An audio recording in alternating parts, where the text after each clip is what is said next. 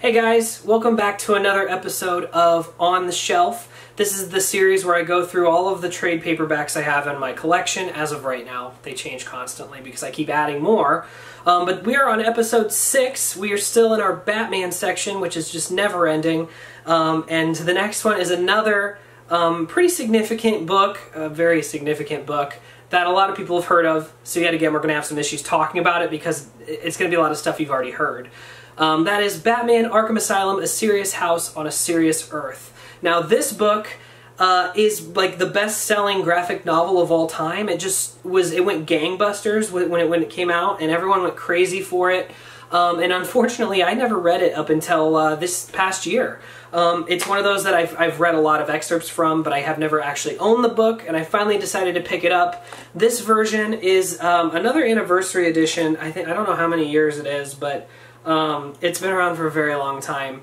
Uh, this is by Grant Morrison and drawn by Dave McKean. Dave McKean is not known for his a lot of his um, comic book stuff. I mean, he is now, but before this, he wasn't.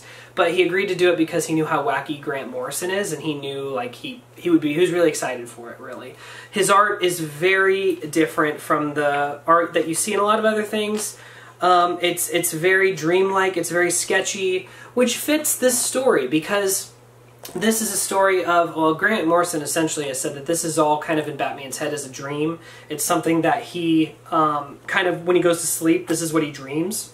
But um, Arkham Asylum, the video game, a lot of those Arkham City, they were very inspired by this. It's a very gothic take on the book.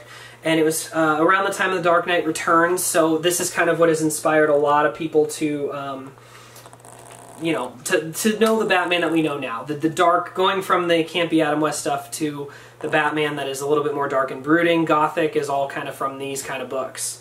Um, basically, um, Arkham Asylum has had um, escape-y situation, and Batman has to go in and deal with the madness behind Arkham Asylum. Uh, for instance, he runs into Two-Face, who instead of now uses a two-sided coin to make his decisions, it's now broken up uh, many different times from tarot cards, and he has to decide based off of those. The um, doctors think that it's uh, really healing him, but it's kind of not because it's it's really not getting to the root of the problem. Because now Two Face has uh, problems even when it comes down to just going to the bathroom. He'll soil himself. So.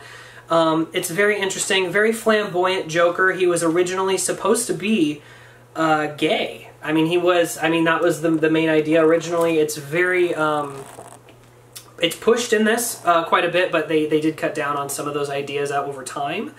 Um, talking about this version, this is, uh, like I said, the newest version. It comes with uh, some cool extra stuff with it because the book is, is relatively short. Um, you get, um, you know, a couple different um, afterwards by a few people. Um, let me see here. I'm trying to remember what all it comes with. So you get a couple quotes and some kind of interesting things.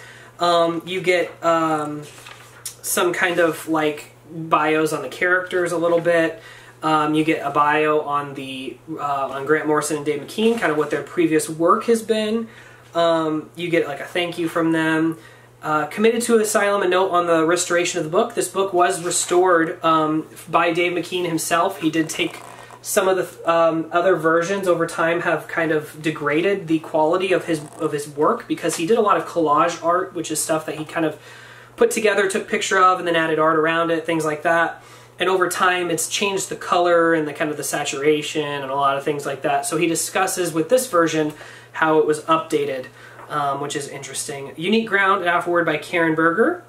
Um, so this kind of just is another, you know, just kind of to give you that idea. And then the big thing that takes up a lot of this book is it's the full um, script by Grant Morrison of the story, and you get and it's really interesting if, if you want to know how you know comic book writing starts or how people do it. Everyone does it differently, but Grant Morrison's is pretty interesting, especially since you get kind of these red notes below, kind of explaining the thought processes behind the book and kind of what they were looking for. It's fun to have this stuff. This is the kind of stuff that you want to see in a, a, a graphic novel version or a paperback collection or, or whatever it would be. Um, you get some more like handwritten scripting stuff. You get some uh, storyboard sketches, which is always fun because Grant Morrison also likes to do art, so he kind of sketched out his own stuff and then had Dave McKean kind of look into it from there. Um, so this is a fun version of this book to have. Um, I picked it up because I needed it for my collection, but also I thought it was a good time since they did have a new re-release of it. Um, like I said, there's not a whole lot to talk about with this one. This one isn't like a, a, rare find. It isn't something, for one, it's a trade. Nothing's really a rare with a trade unless it's out of print. But um, it's not something that, it's not like this um, this uh, gem that no one's heard of. It, it, it's a big book. And we're getting to a point here with my, my collection where we're going to run into some more of those, but we're going to run into some different ones as well, hopefully here soon. So um, yeah, Arkham Asylum Serious House and a Serious Earth. If you haven't read it, I do highly recommend it. I read it over Halloween this year, and it was a very like moody read. It's which is fun. You can pretty much read it in one sitting, um, and uh, it's it's a classic. So that's going to do it for this episode of On the Shelf. I will see you guys in the next episode.